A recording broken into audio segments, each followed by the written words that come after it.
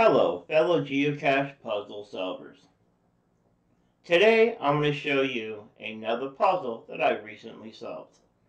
This one involves clock code. If you're brand new to this type of code, then stick around. I'm going to show you exactly how to decode clock code. And if you have already done it once before, stick around anyway. Could learn something new. Now for the cache page. To protect the original geocache, this one is called Buttons, Buttons, Buttons. This is a fake name, fake GC code, puzzle made by me, just to show you clock code as always. So, it was a 3 difficulty when I solved it, and a 2.5 terrain, size small. And then you see the fake chords at the bottom. And now for the cache description. As always, the cache is never at the posted coordinates. A small description is here. There are buttons on the radio. There are buttons on a stove. There are buttons on a door lock, and there are buttons on a digital clock. Lots of buttons everywhere, even the old touch-tone phones. So push some buttons and find the coordinates for this cache. Well, there is a clue that is in this description, and that is clock. Digital clock or clock. Because if you look at that code, that is what clock code looks like.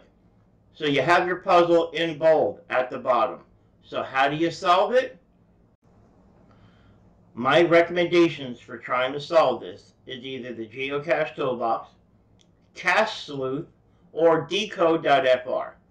In this case, Cache Sleuth was the first one I tried and the easiest. Let me show you how it actually works. When you go to Cache Sleuth's website, the first thing that comes up at the top is a multi-decoder. This is where you're going to paste any cipher that you're trying to solve. So as you see here, all I had to do was copy and paste.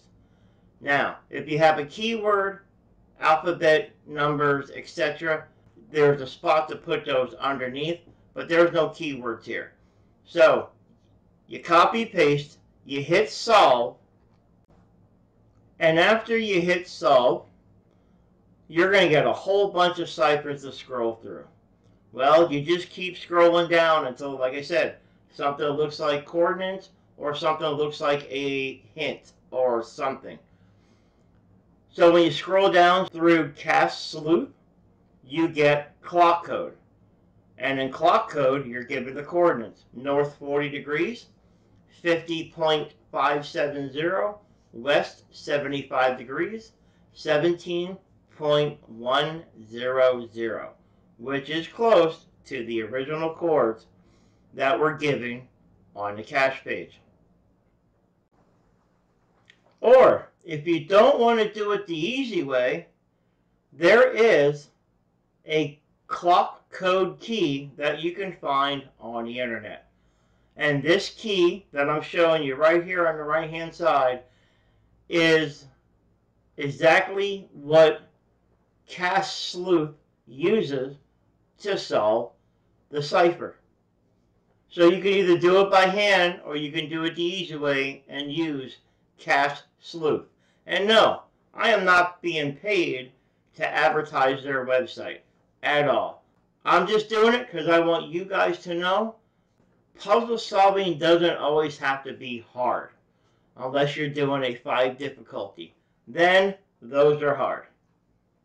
Alright puzzle solvers, you now seen clock code and the best place to go if you don't know what kind of cipher or code that you have.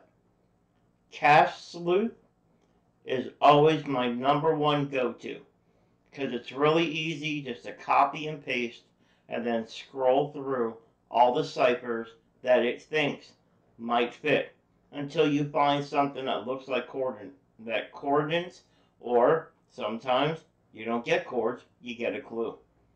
Either or, Cache Sleuth is the best way to eliminate a lot of possibilities right off the bat. Well, I thank you all for watching. I hope you learned something new today, and I hope you can solve the geocache puzzle in your area. Happy trails, happy caching, and go get a smiley.